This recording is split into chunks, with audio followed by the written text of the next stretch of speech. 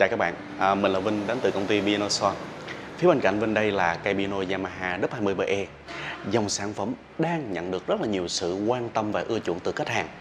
Video hôm nay Vinh sẽ chỉ ra những cái ưu điểm nổi bật làm nên cái sức hút của Yamaha W20BE. Ưu điểm đầu tiên của Yamaha W20 đó là ngoại hình.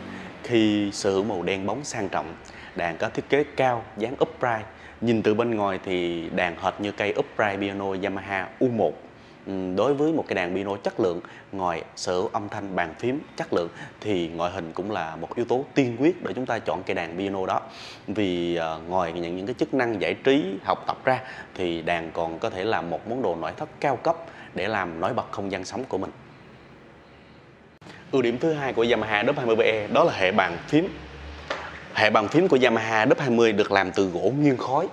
Nó là một cái trục uh, gỗ và cái hệ búa thì hệt như cây binoker, nó tái hiện lại búa của binoker, nó gõ vào.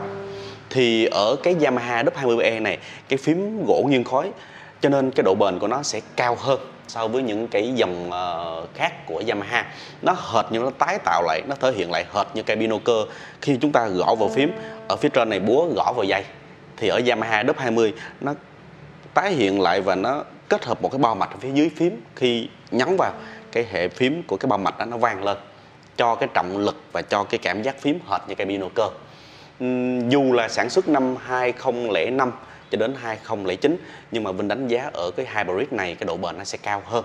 Đó là cái ưu điểm thứ hai. Và ưu điểm thứ ba của Yamaha W20BE đó là hệ thống loa. Khi nó cấu tạo hai cái loa trép và một thùng loa đặt vào cái thùng rất là kiên cố và rất là đầu tư. Cho nên là cái âm bass của cái dòng W20BE này rất là dày và nội lực, cho mình cái cảm giác rất là thực tế giống như piano cơ đó là ưu điểm thứ ba. Và bây giờ chúng ta thử nghe thử âm thanh bass đó nha.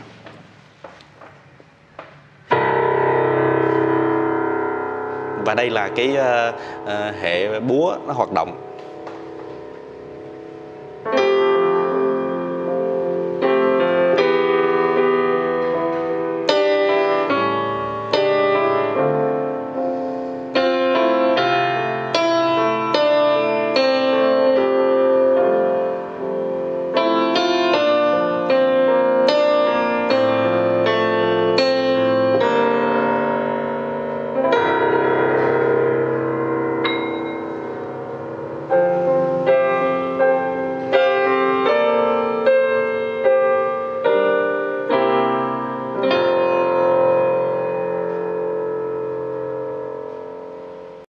một ưu điểm nổi bật của Yamaha W20 mà chúng ta không thể bỏ qua.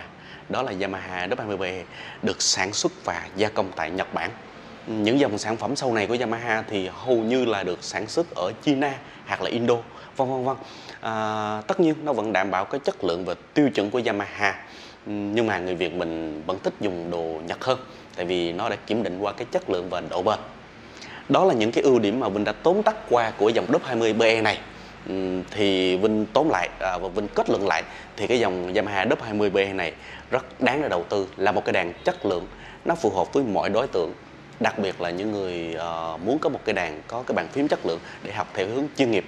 Ừ, mình có thể tóm tắt lại là cái đàn này dù nó có tên gọi là piano điện nhưng mà nó mang thân xác của một cây piano cơ khi sở hữu cái bàn phím ngoại hình và cái hệ âm thanh.